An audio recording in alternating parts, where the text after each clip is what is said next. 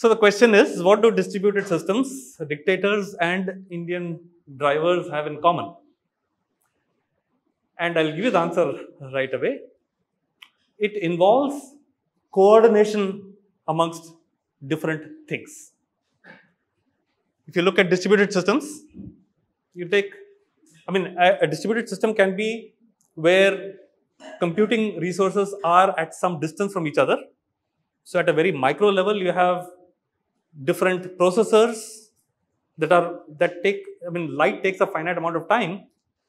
And when you're running a processor at 3 gigahertz a light can only travel what a foot one foot distance in one nanosecond. So it's like a one third of a foot it can travel right? So the distance between two processors makes a difference. It's actually a distributed system. Timing makes a difference right? Whether it is two multiple processors within on a board multiple boards in, in a rack, multiple racks in a data center, multiple computers in a data center or multiple data centers. This is like a fractally self-similar kind of a setup, right? It's a distributed system. So that's one. You have traffic where you are, if you have to get through, you have to coordinate with others. And there are signals that you emit, that you send whether it is by showing road rage or by frown or whether you show a traffic signal, you are communicating. So there's a whole bunch of coordination that is happening in order to get a joint task achieved, whether it's to drive in a same fashion or to get anything done, like you know what a what a data center can do. And about dictators, it's like you know if you are uh, you know if you are part of a revolutionary mob, you don't want to be the one opposing I mean, unless you really have the guts, those are the people who really do anything. But if you have to have a mob, there is a way of coordinating it so that you can depose a dictator. And the rules of engagement, there are ways in which a revolution becomes successful, there are ways in which it doesn't. And many of the same patterns are, are come across in many of these places. So today's, uh, so all of this is the study of communication and coordination amongst various nodes, there is a formal way of dealing with this. Uh, there are particular kinds of logic that are used to deal with study of coordination and you know how various nodes acquire information, how they disseminate information and coordinate to get something together. And one of the ways in which you can reason about the correctness uh, of such protocols is through something called knowledge logic. It's formally called epistemic logic. Episteme is just the Greek word for knowledge. So it can be called knowledge logic and there is a subset of it called belief logic. I'll talk more about this in, in a, uh, in a few moments. But the idea is that what, what makes like a, uh, let's talk about a communication protocol, right? Suppose I say, I want to go to dinner with my friend and I say, where do you want to, what do you want to eat? And he says, I don't know. Okay, do you like Chinese? Ah, no, I don't like Chinese. Now, that kind of protocol interaction does not foster action. You're still back to not eating anything. You have not come back, come to a decision. A more effective protocol would be to say, here are the five choices you get to decide amongst these, let's whittle it down. And they bring a subset, you whittle it down. And as because the, sub, the subset is shrinking, at one point you have consensus that is desirable to both. And so you have a coordinated action, the action being to go out to eat. You, have, you come to a decision. So you can design protocols in such a way where you have concerted action, you have coordinated action. Otherwise, you'll just be spinning around making no progress at all, right? So whether you want to navigate traffic, whether you want to have computers get together and do something meaningful together, or whether we want to navigate tra traffic, depending on the grammar of the traffic. You know, the way you drive here is not the same as the way you drive in the US or Europe, but each has its own grammar. And a good driver will figure out the grammar or the rules of the, of the game, right? So knowledge logic. The word knowledge is very hugely overloaded. It's like you know the term energy. The Kundalini people say energy and the physics people say energy, they mean completely different things. and there are the scamsters in between who will who easily like you know go through one between They Say, yeah, yeah, thermodynamics. Yeah, that's why your Kundalini is good. It has nothing to do with each other, right? So the word knowledge is also used. The Vedic people will say Vedic knowledge, and then there are people, other people who have very different notion of the knowledge. So in knowledge logic, there is a specific, very mathematically rigorous definition of what they call knowledge. Now, it may not necessarily, it, it appeals to some part of your intuition, but in order for it to be rigorous, things have to be, it, it does not, it does not map completely to human behavior because that's much more complex. But it's very good for precise systems, for precise semantics, for computing systems. Ourselves, we're talking about knowledge, right? So we technically call ourselves Homo sapiens, but Homo sapiens actually covers all primates, all intelligent primates, whether it is chimpanzees, orangutans. So of course, we can't be just in the same group as orangutans and chimpanzees. So we have given ourselves, we are actually technically Homo sapiens sapiens. So Homo sapiens means sapient. The word comes from sapere, which means to know. So sapient means to be wise. So we, the primates are the wise, the ones who know. Homo sapiens sapiens, that is just humans, we know that we know there is a level of indirection, level of reflection. We know that we know, right? And that's the kind of thing that knowledge logic revels in. So I don't know how many of you have seen this Friends. Uh, how many of you not don't know anything at all about Friends? Okay, there are a handful of people. Okay, you don't have to know, but I'll tell you as we go along. So there's one episode where this is remarkable this phrase that says they don't know that we know, they know we know. And in the episode, it sort of works up to this, this stage. So I'll come to this, uh, this thing, but let me first introduce a little notation. So in traditional Boolean logic, we have, you know, um, propositions in a particular world where propositions have given given truth values, whether it's true or false. CSK1 IPL 2003, yes, definitely that's a true statement. Phi1 or Phi2. Oh, by the way, uh, some people say phi, some people say phi. Phi is the mathematical way of saying it or the Greek way of saying is phi. Okay, so if you're used to saying phi, then I used to say phi too, but it took me a while to rewire my head. So you have a bunch of these propositions, you have a bunch of connectives, and you can string together arbitrarily long formulae whose truth value you can compute. Right? You can create a truth table out of it. Now that's basic Boolean logic. Now with Boolean logic, it does not take the context into account. By context, I mean, let me explain by a few examples. There is an extension of Boolean logic, a family of logics which have their own rules called modal logic. By mode, it means that depending on the context, it's basically you can call it contextual logics. Depending on the context, the truth value of something might change. So, for example, if the context were time, that would be a temporal logic. Where you say today this was true, tomorrow this is not true. But this is true forever because it's nailed in time. If you just set CS, CSK1 IPL, next year it may not be true. Right? It's temporally dependent.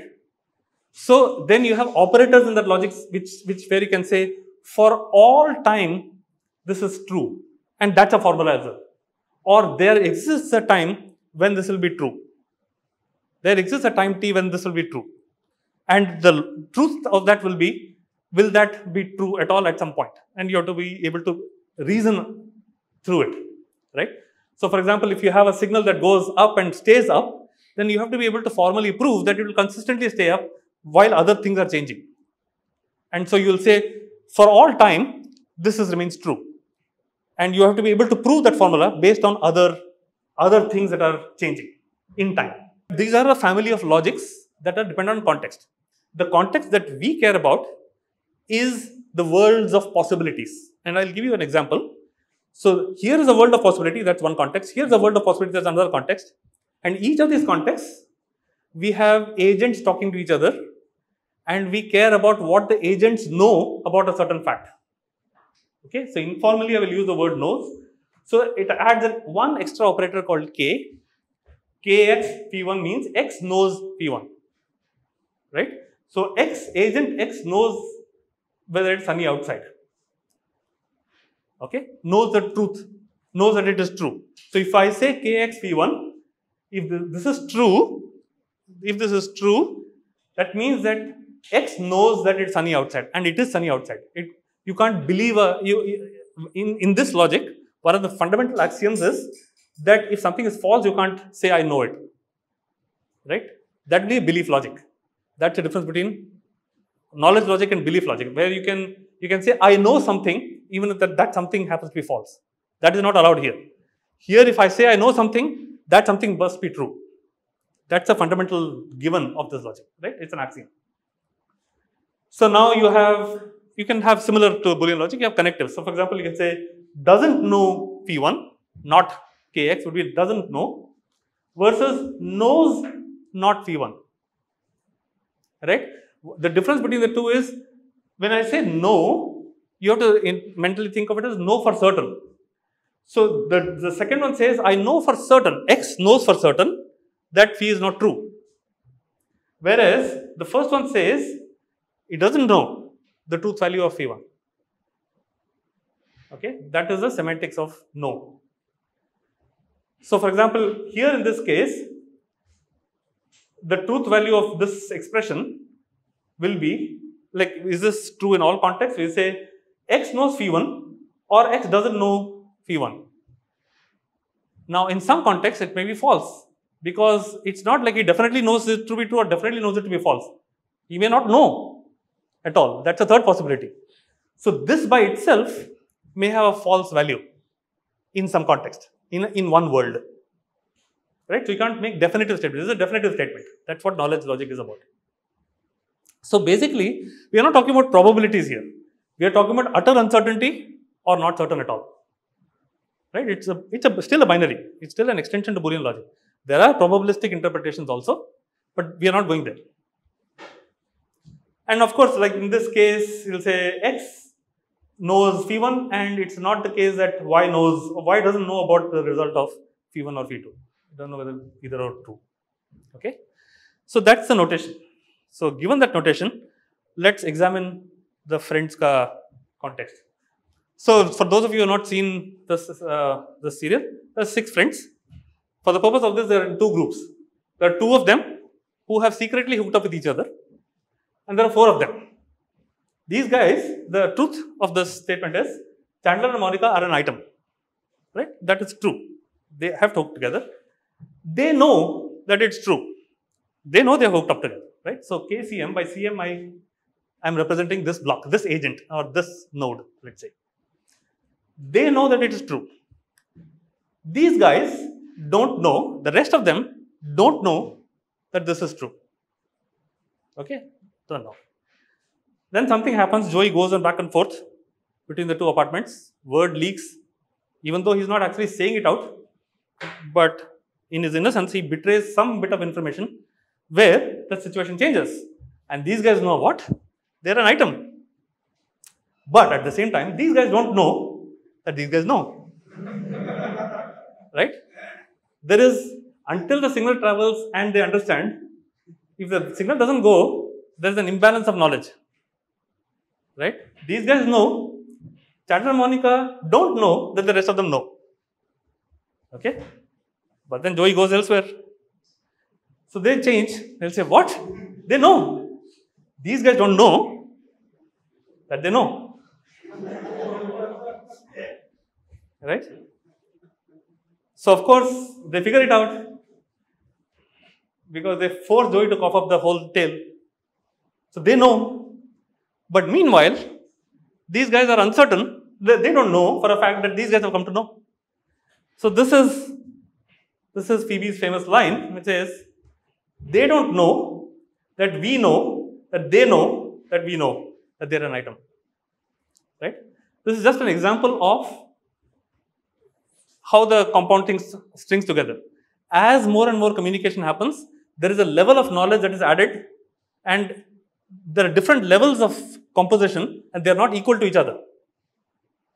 Okay?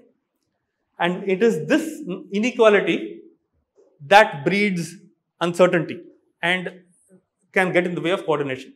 Okay? So this is just an example of the way syntax is used. so the real question is what does I know really mean? And is there a difference and what is the kind of a difference between different levels of stacking up these k operators, right? What does it mean in practice? And why bother, right? So, to figure out the I know part and this worlds of possibilities idea, let's look at a simple example. So, there is a very famous puzzle called the Muddy Children puzzle. In the 1950s, it used to be called the cheating husbands puzzle, but now things have times have become more polite, so you call it the muddy children puzzle. And the puzzle goes like this. There are five children, it doesn't matter any number of children, but five children, three of whom, after playing, they have mud on their heads. But they don't know that. None of them know whether or not they have mud on their foreheads. Three of them actually happen to know, if you see from outside, three of them happen to know that they have mud on, uh, uh, three of them have mud on their forehead, just they don't know it. The ones who don't have it, they also don't know whether they have mud on their foreheads or not. So the teacher says, say yes or raise your hand if you know you have mud on your forehead. Now, I just told you they don't know. So they can't say yes, right? Clearly. So the teacher now says, okay, I'll give you a clue. At least one of them, one of you has a muddy forehead. At least one of you has a muddy forehead. Now, he has said something that is patently obvious to everyone. Each of the kids can see at least two kids or three kids, because there are three of them. Each of them can see a kid with a muddy forehead. If somebody had asked them, does at least one of you have a muddy forehead? They'll say, yeah. Every one of them will say, right? The teacher has, he says it's a clue, but what has really contributed to the whole thing? So then he asks, okay, say yes if you have mud on your forehead. And nobody says anything. So he says, say yes if you have mud on your forehead. After three times, all three kids who have mud on their foreheads, they raise their hand and say yes. So the question is, what value did the teacher add by saying something obvious and what information was conveyed in this whole process? Something changed where all three coordinated to say yes. And it was exactly three. Is there are three kids with uh, mud on their foreheads, it will take three rounds. Now, we will not spend time. I mean, if it was my class, I would have made you all figure it out. And it's not easy. It's not simple. It's not difficult to figure it out. It's a simple inductive argument. But I will walk through a simpler example myself. Okay. So let's say it's a simple solution, the simple arrangement. We have three kids, two are mischievous and they have mud on their foreheads. One of them doesn't. Of course, neither of them, none of them knows whether they have mud on their foreheads or not. Okay. So at round zero, like before, before the teacher has even said anything, this is the way A is thinking. A says, I'm, there are two possibilities. There are two possible worlds I could be in. Either I have mud on my forehead or I don't have mud on my forehead. The other two he can see. The other two he can see and he says there are two possibilities. Either I'm in this world or in this world. If I'm in this world, now here's the knows and knows thing, I imagine what B must be thinking. If I'm in this world, and because he can't think, he doesn't know, he must be uncertain because he doesn't know what he is in. He must imagine two possibilities where he has mud on his forehead and he doesn't have mud on his forehead. In this world, we don't know, none of them know which world they are in. In this world, A thinks, he's in B's head, A thinks B must think like this. B cannot know for certain. Okay? In this world, A doesn't have mud on his forehead, but B he knows, like he, he was uncertain. B is also uncertain symmetrically. He has mud on his forehead or he doesn't have mud on his forehead. This is what he imagines, B must be imagining. Right? So he remains quiet because there are all these possibilities. I mean, for A, there are all these possibilities, none of which can be cancelled out. Right? So he's uncertain. So he doesn't raise his hand. B, in a symmetrical fashion, also does not raise his hand. So now, the teacher says, I'll give you a clue. At least one of you has mud on your face. So A says, aha, this is not a possibility then. If I were in this world and B was uncertain, then B would cancel this out. And if that was the case, if he remains quiet in this round, that means he can see me. He must immediately deduce that he has mud on his face. Because he knows that I don't, in this world, I don't have mud on my face. So B would, at the end of round one, he must say, aha, I'm in this world. And so, there must be, uh, you know, uh, uh, and I have mud on my face, so he should raise his hand. But he didn't raise his hand, which means he is not in this world. So at the beginning of round two, it's clear that we are in this situation. Neither of these are active. We are in this situation where we are in this situation where in both cases A has mud on his forehead. So A raises his hand. By a symmetrical argument, B raises his hand. Okay. The way if you want to build up an inductive argument is a if there are only one kid, initially he doesn't know anything whether he has mud on his forehead or not. If the teacher says at least one of you has mud on your forehead, then he'll say, yeah, I just him. If there are two people, then you can you can argue symmetrically, you can argue similarly, right? And then you can build up an inductive argument that goes up to there are n kids. It'll take n rounds. Each child imagines a recursive world of possibilities. If this is my state, then from this state, because he can see me, my peer's states must be this. Based on the information I have sent him, which is basically he can see me, these are the worlds that he can build for himself, right? It's a nested world, and in the more general case, it's a graph of possibilities. The communication of any communication that happens, it updates local state, as in each is thinking for himself, right? They are not fiddling with somebody else's memory. They are only updating their own state and taking action based on their own inference. And every time you communicate, it increases the level of certainty. So you are essentially adding one more level of knowledge, and at some point you are saying, yes, okay. So it is we don't after round one, you know that you don't you don't just have one, you, you have extra knowledge. And the reason you have extra knowledge is each kid hears other kids silence or uh, yes. So silence is as much an effective communicator as, as something verbal, right? In a synchronous system, staying silent has meaning. It's not like the signal is lost. When you have a when you have a synchronous system that's based on a clock, then even silence can be used to communicate information. When you say A knows phi, that means agent A knows phi, that's what we said. The meaning of knows means there's no uncertainty. I know for sure a knows for sure that phi is true. And in all the worlds that A can possibly find itself in, like he's imagining, in all the worlds that it can find, and recursively going through, overthinking it, right? All the possible consequences of it. If you find that this phi holds, then you know for certain that the A knows for certain that he knows this fact. If there is a world in which he can imagine that this fact is not true, then he cannot be certain because he doesn't know which, which state he is in. Right? Because there are certain things that can only be inferred based on outside observers. So, for example, if you say that there is no sun anymore, you would not know because it will still take 8 minutes for the light to, to stop before we know. We are in, this, in a state of you know, ignorance about the fact that the sun has just switched off. So, based on this, if you, if you enhance this knowledge thing, you say someone knows, which is A knows or B knows or C knows or if there are n agents until n knows, right? Similarly, conjunction, if you say A knows and B knows and n knows, that means everyone knows. Important thing here is when you say everyone knows, everyone knows privately. Doesn't, if just because A knows, doesn't mean that B knows that A knows. Right? They know privately that fact. A knows that everyone knows. That's an additional level of knowledge. Because A knows that everyone knows privately. Maybe they're just too afraid to say anything. Everyone knows that everyone knows. And in fact, you can keep stacking up e's. It's called e squared. You can say if you have n times you stack up e's, you have e to the n.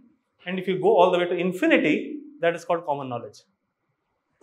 Everyone knows that, everyone knows that, regardless. I, mean, I know that, you know that, I know that he knows. You can go infinitely often there is not a shred of doubt regardless of which way you go. That is called common knowledge. Now, in common in normal parlance, common knowledge is like eh, everybody knows it's common knowledge. See, this is where the overloading of term comes. In this logic, common knowledge has a very, very specific semantics. Right? It's everyone knows to the infinite level about each other. They can play an infinite amount of scenarios and there is no, um, you cannot falsify. So, what the father adds is common knowledge. The fact that at least one child has mud on the forehead, the moment he says it, everyone's heard it, it instantly becomes common knowledge. You cannot deny that I didn't and I don't know. I cannot, I, you know, I know that you know, you know that I know, I know that you know that I know. You can go it infinitely off, right? By broadcasting this thing, you have basically added common knowledge. Similarly, when the, when the kid does not say anything or says something, they have broadcasted their position. They have communicated something. If you see at round zero, even though B knows that there is at least one child has mud on the, one, on the forehead, A doesn't know that B knows. Everyone knows, just not just B, but B knows that there is at least one child with mud on their forehead. Right? This is trivially true. But A does not know because he can imagine a world where B does not know. So this does not hold. It should be not K A K B phi. Doesn't know. So this is something. It's, it's knowledge logic is used to reason about different possible worlds. In uh, in a lot of uh, psychology, there is this notion of a theory of mind, and it's fascinating to watch very young kids evolve. Where, if, for example, if you say there's a brother and sister, and uh, you say, "I'm going to, I'm keeping the chocolates here," and uh, the sister goes out, and this very young brother is uh, before the sister comes back, the mother basically puts the chocolates elsewhere. The brother sees it, and now if you ask the brother, and if he's very little, he'll say, "Where when she comes back, where will she look for the chocolates?" Right? He will say, "Here." in the new place because he does not imagine himself in the sister's head until a certain age. You are you don't imagine yourself in the sister's head and say, no, the last time the sister saw it was it was in this place, and that's where she'll go looking. When when the kid becomes a little older, that's when they have the theory of mind, which allows you to put yourself in the other's position and say, the last time if I were the sister, I would go looking there, not here. Right? And it's fascinating to watch the transition in a young kid, right? From two years to four years. So some applications of this common knowledge, what common knowledge can do. So when you say knowledge, it's a basis for action. Whatever state you have, you are a, you can act based on whatever knowledge you have. And you have a local knowledge, a local state. That's what, you know, whatever you, you know about your cultural context, your history or whatever. In a processor, it is, it's a memory, right? Uh, and only based on that, it can issue any further commands, it can do any, uh, any communication at all. You have communication protocols that help each agent updates its own state and updates their peers' state. And the, in generally, when you're a communication network designer, you are designing protocols that makes sure that the way they talk to each other, the kind of messages, the kind of information they send to each other, in spite of various failures of network, of nodes and stuff like that, it eventually gets them to a coordinated action, right? That is the goal. And when you have common knowledge, it yields coordinated simultaneous action. When you have common knowledge, just like in the muddy children example, at the end of um, round three, when you have the three muddy kids, at the end of round three, all three raise their hands. Coordinated uh, simultaneous execution. They didn't like look at each other and say, you know, should we or should we not. They all were convinced based on their own local knowledge, based on what they had been updated by from the previous rounds. So lack of common knowledge is a problem. So here's an example from Indian traffic. You know how it is when you're driving and somebody just sails right through from a perpendicular road, like shamelessly just comes in from a side road, right? It's a characteristic of Indian traffic. And so if this guy doesn't, he's unsure, right? If he has not made eye contact with this guy, you don't know what his intentions are. If you're a careful driver, you will slow down. And typically that's what happens. And this guy He may or may not, he may, not, may or may not have the best of intentions. We don't know. As far as this guy is concerned, he doesn't know any of the stuff. But he's going to play it safe. He's going to slow down. But if you're a if you're a seasoned driver, you'll say this is what other people do when I just shamelessly go into traffic. So what I'll do is from now on, I will not make eye contact. I'll just drive through traffic, and I know everybody will stop. Because we have not made eye contact, I know for a fact that others will be careful. But it takes two to tango, right? If this guy was already also equally shameless, then we have a problem. Right? The protocol is not fail proof. You don't have common knowledge. You think, you have belief, you don't have knowledge. You think that that other guy doesn't is not going to do something. You're certain about something that's not that about his behavior, right? That's not true. You don't know what this guy this guy might be saying. How dare he go past like that? Like I I have the road, I'm going to go.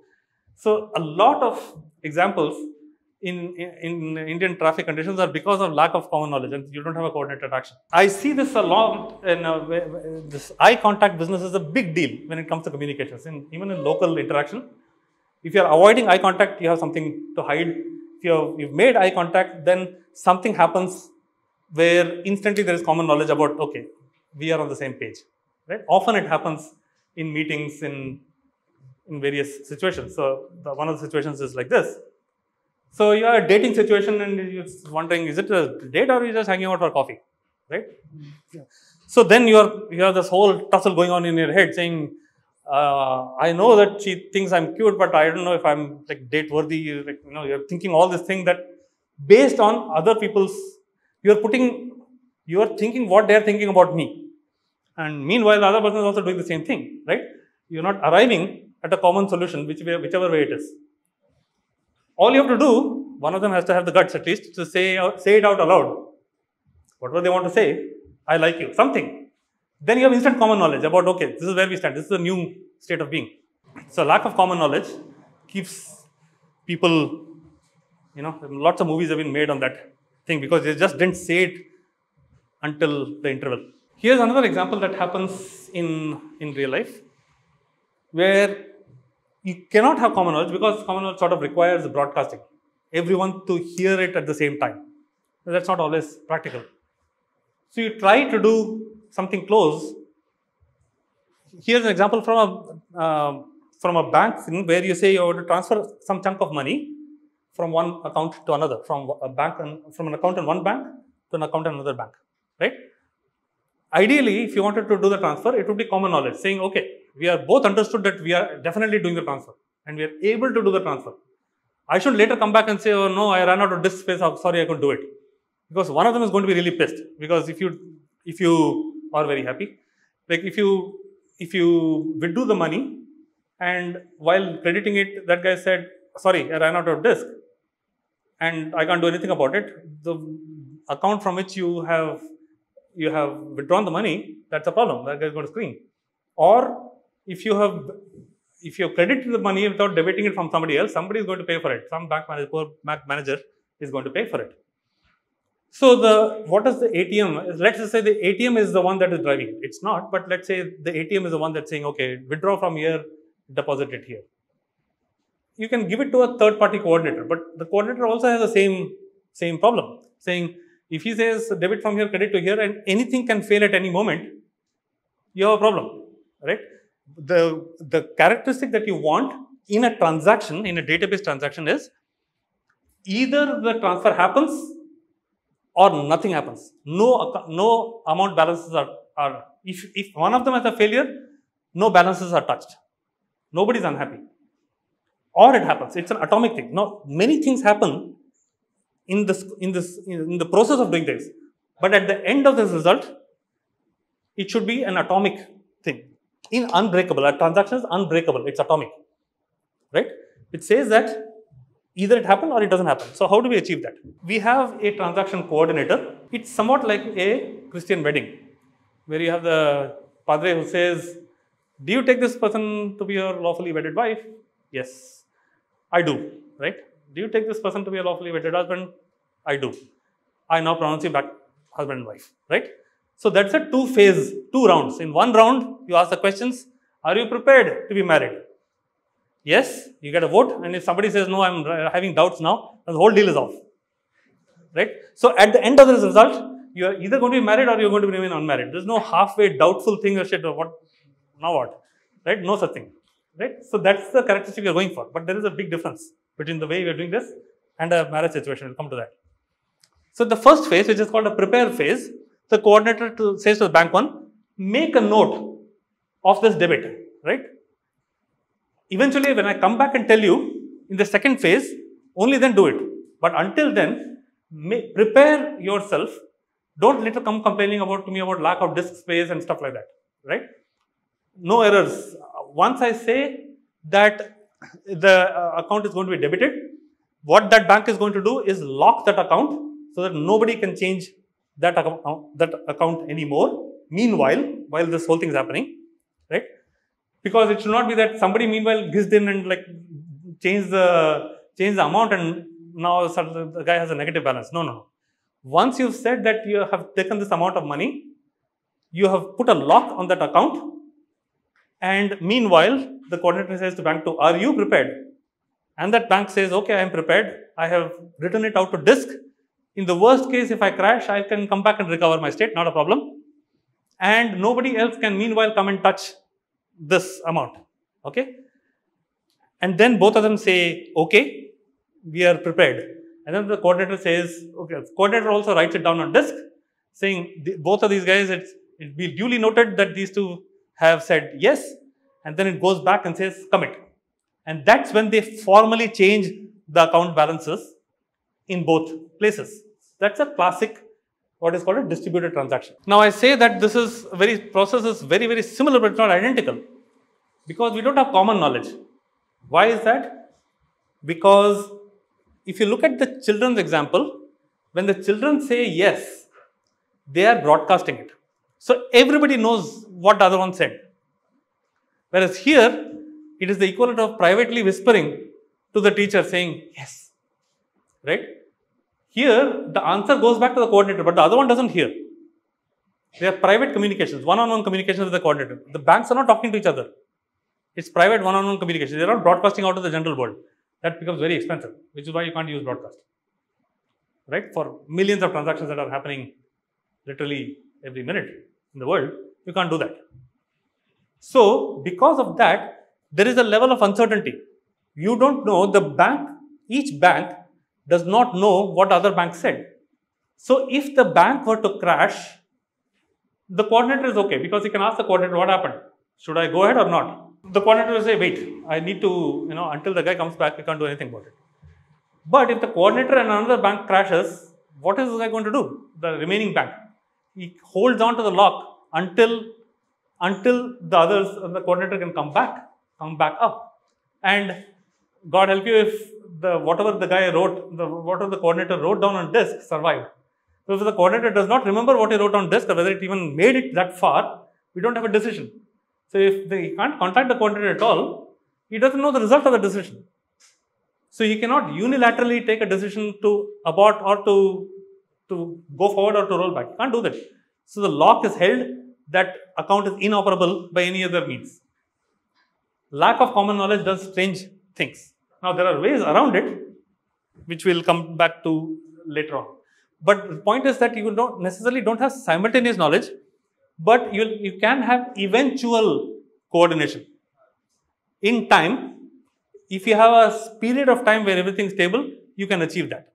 Right? It's not the same thing as simultaneity. But there are points where you need simultaneous common knowledge and you need simultaneous action. So avionics is classic because you're going at such high speeds. You know, you have the flaps and you have the rudder and the airplane speed and everything else that need to be coordinated all at the same time.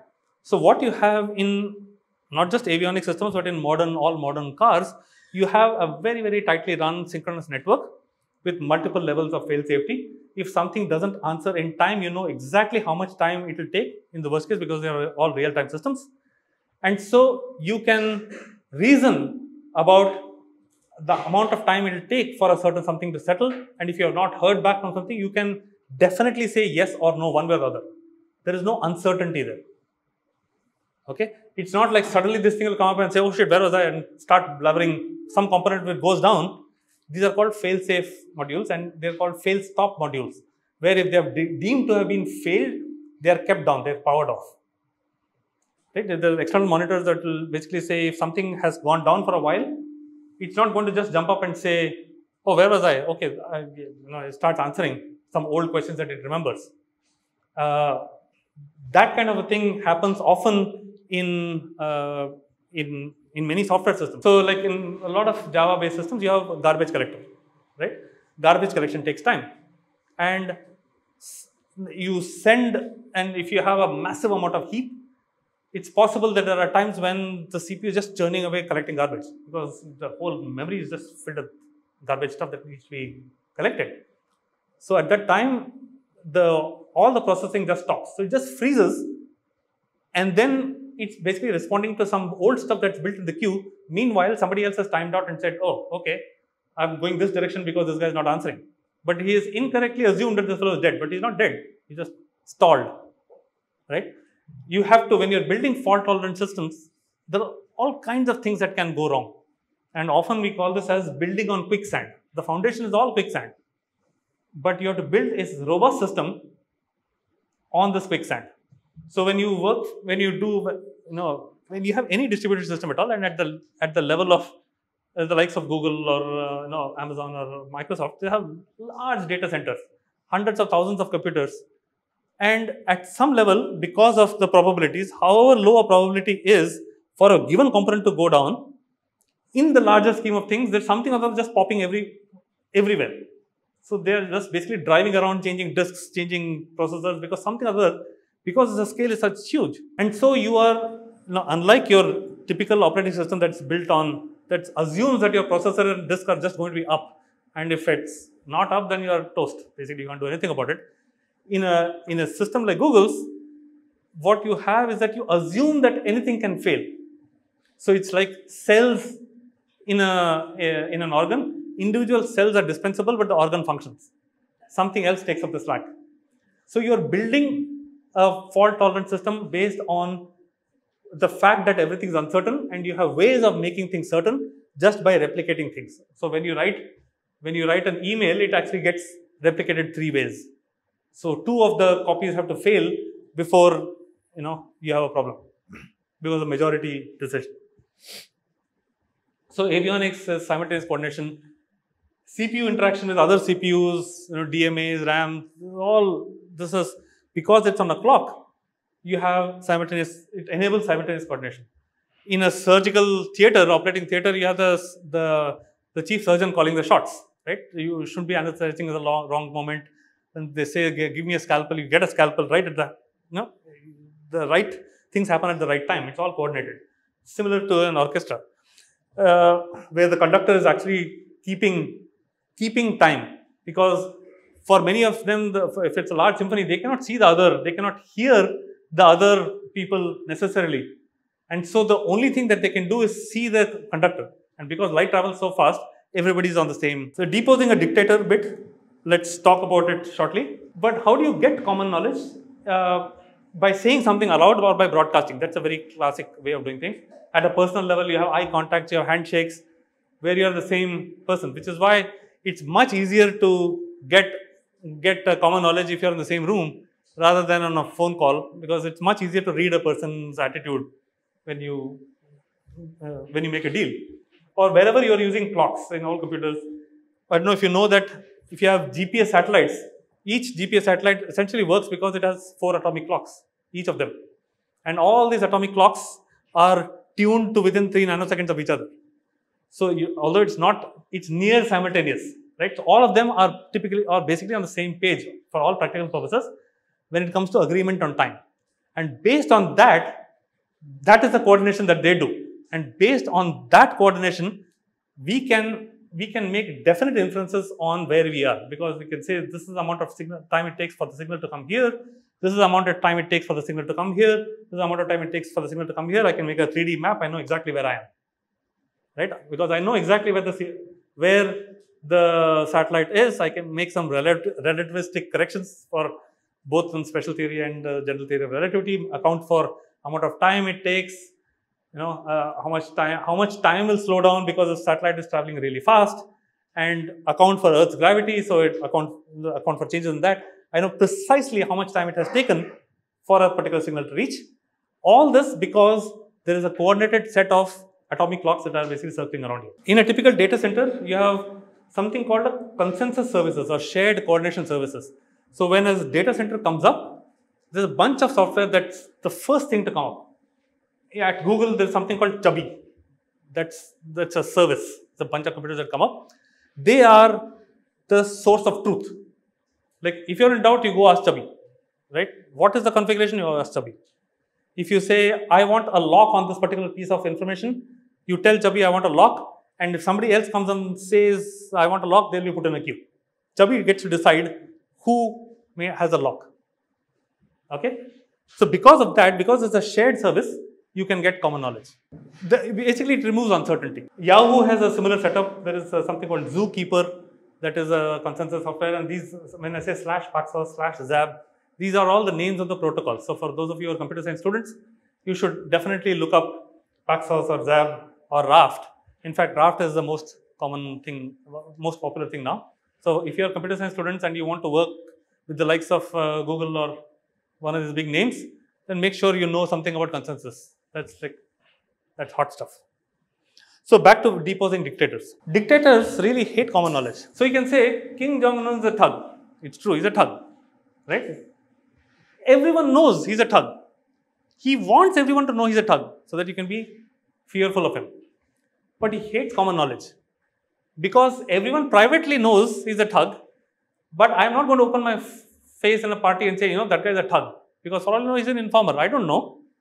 I know that he's, that he's a thug.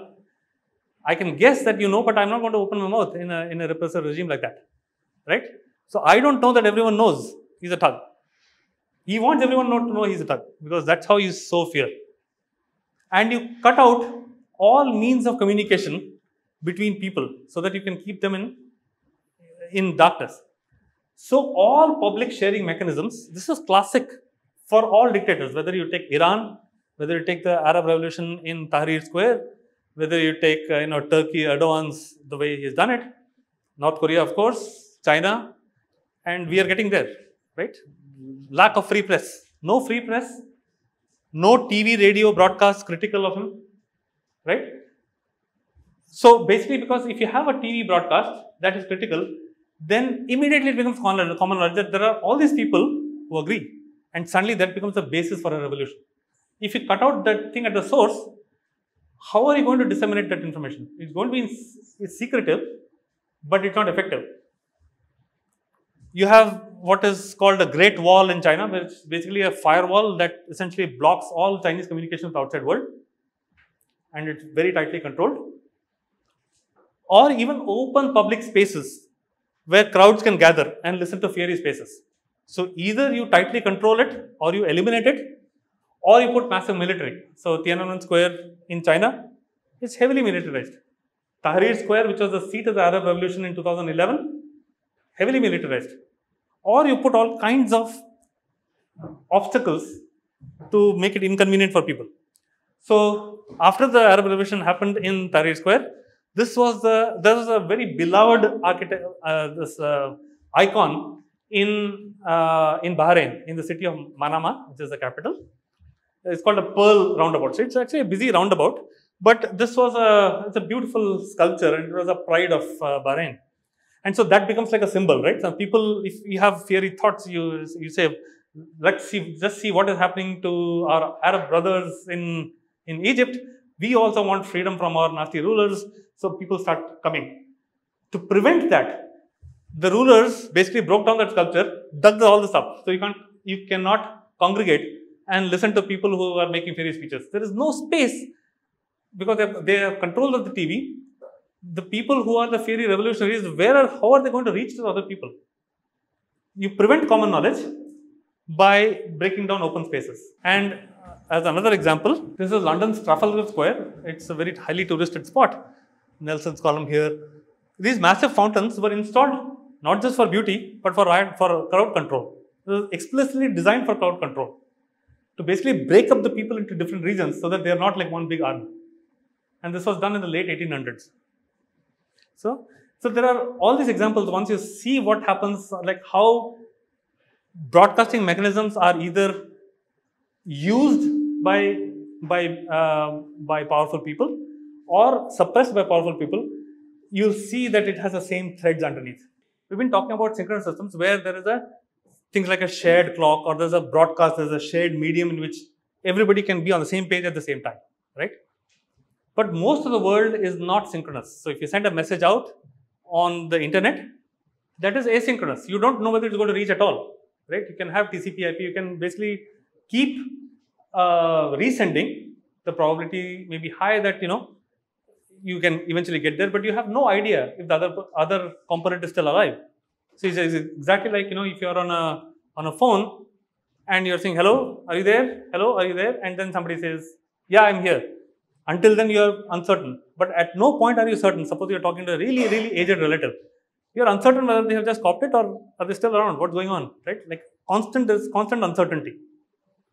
And in this asynchronous systems, it's a theorem in, uh, in common, in, in, uh, in logic where if it's a truly asynchronous system, where there is no upper bound on the amount of time it can take. It can take arbitrarily long for a message to happen. And if it takes infinitely long, that means the message is dropped. Right? You don't know which way which it is. If there's no guarantee of an upper bound, then you are forever guessing, then you can never achieve common knowledge. You can be good enough based on probabilities, that's how it happens in real life. That things are sufficiently up most of the time, you can get your word through. In those periods of good functioning, you're fine, but you can never guarantee it.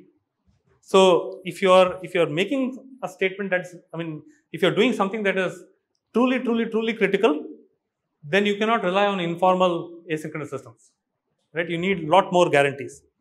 So here's something called a two generals problem.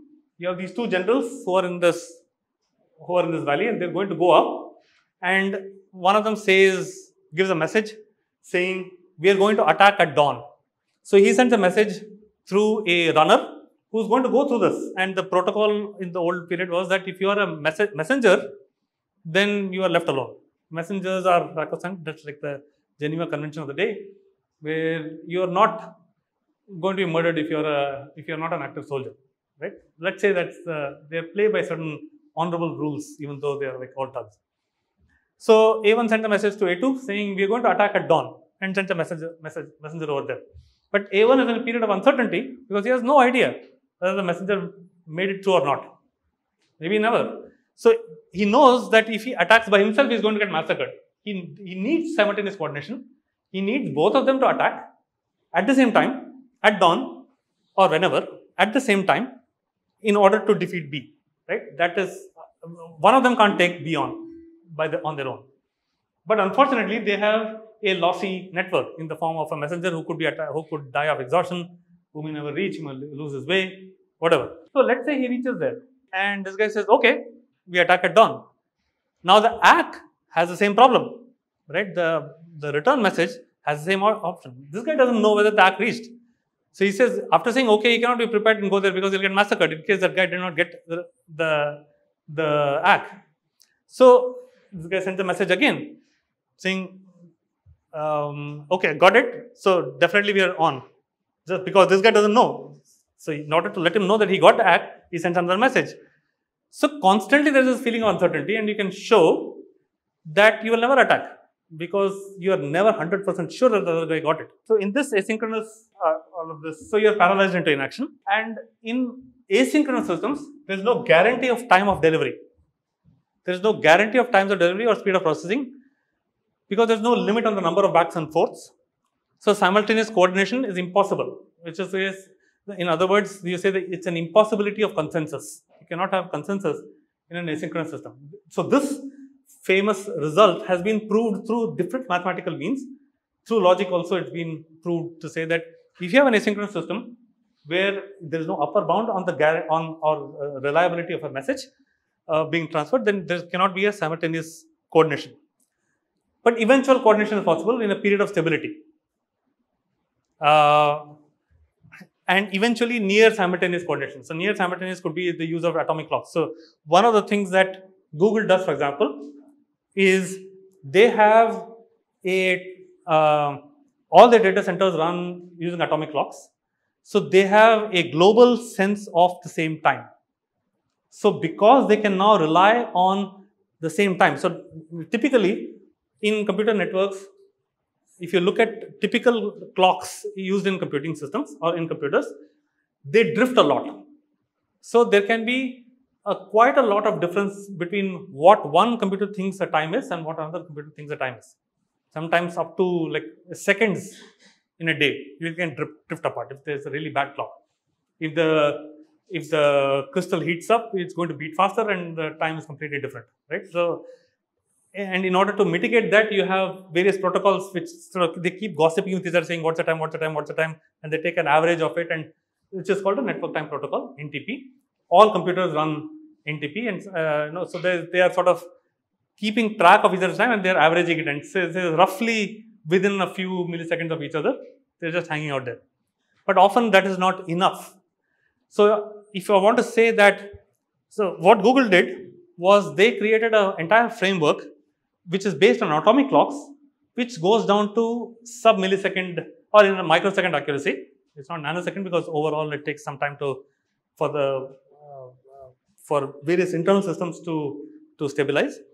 And there they say that they can make a statement saying at this time we will we will uh, uh, commit the transaction. So there's a there are two nodes there, one here, one there, and the message that takes time will say, I'm going to uh, commit it at this time when the, when the message will be eventually retried and retried and retried, and at that time it's considered committed.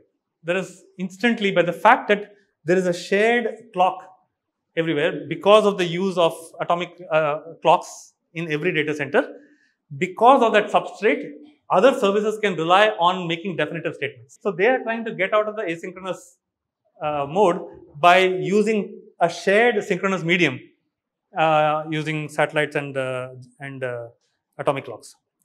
So that's all I have. Uh, so now we have, I know that you have common knowledge about common knowledge. So that's all we have for today.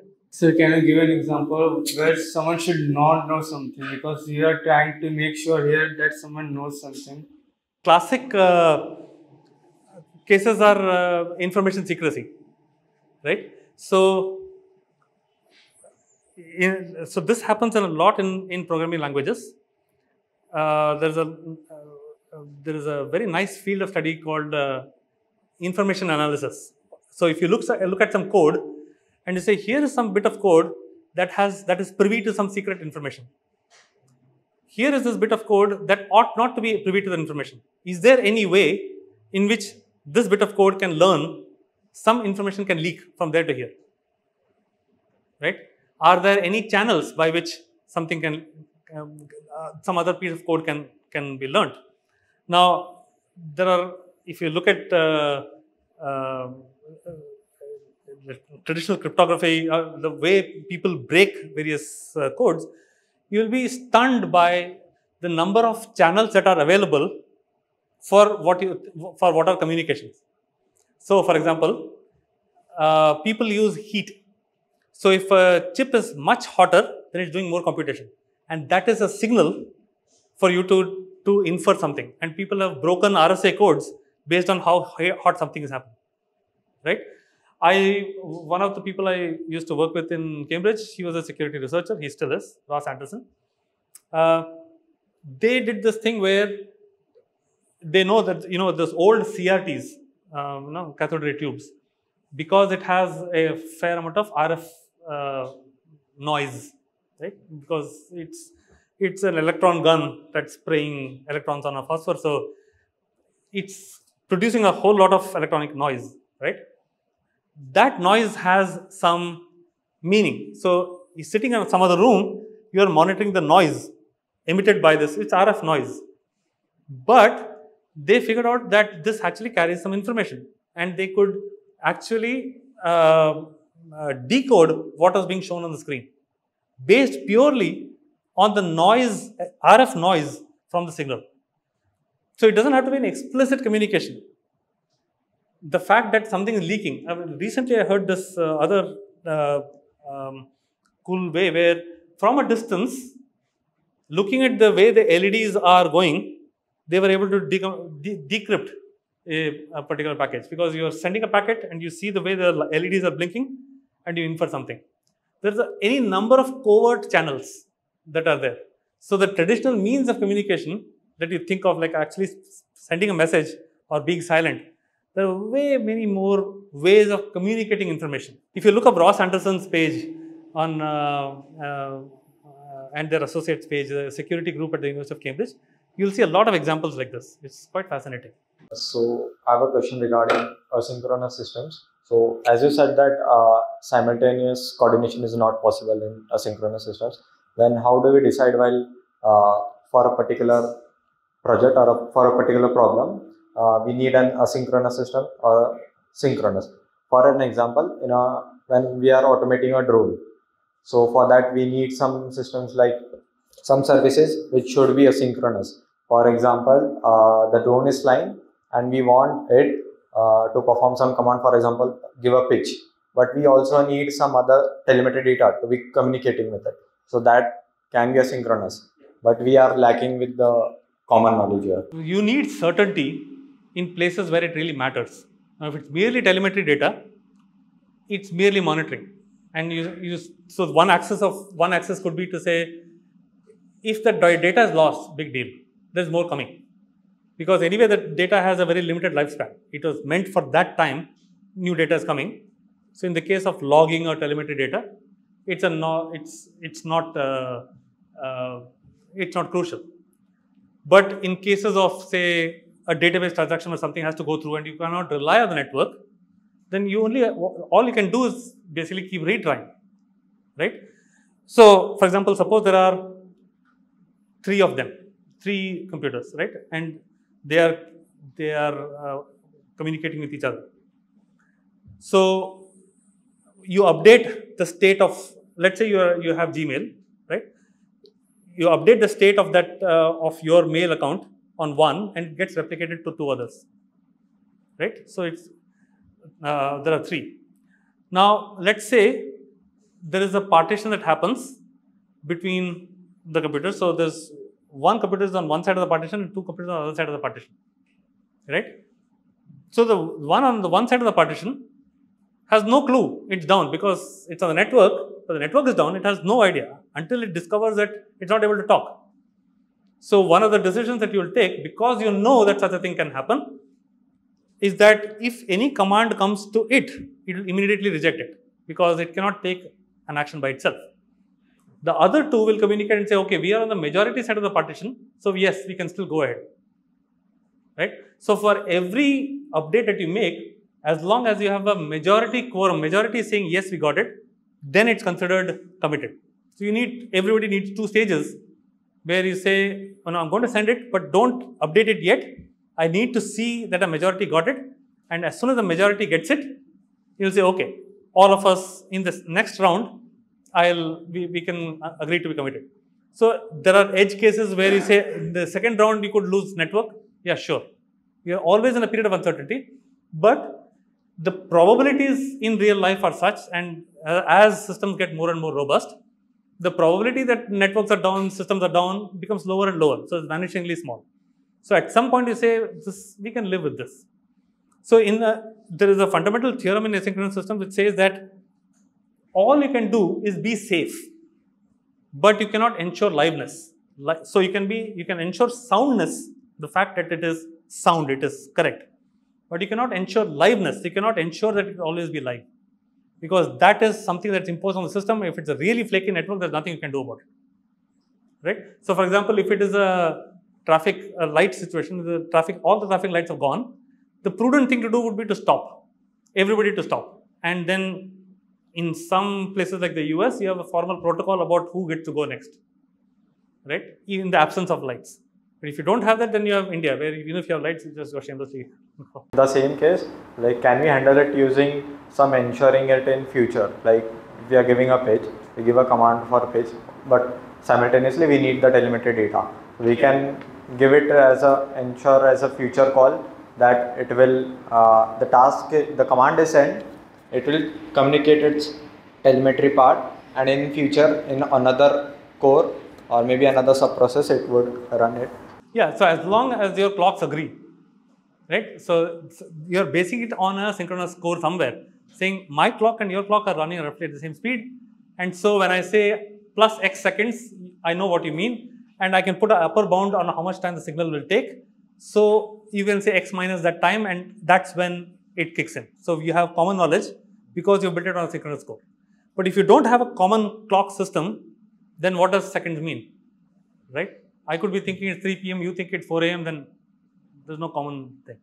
So often in all these systems, getting the clocks right, getting the clocks to be synchronous is the biggest